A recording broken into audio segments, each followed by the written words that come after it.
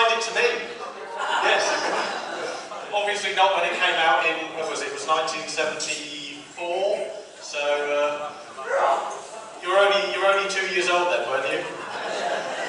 Anyway, we've had a wonderful afternoon and great to socialise and catch up with many people, but it's time for me to hand over to uh, the man who is really making this afternoon's magic uh, His Eminence, Mr. Sussex by the Sea, coming up the stairs over there, John Mann.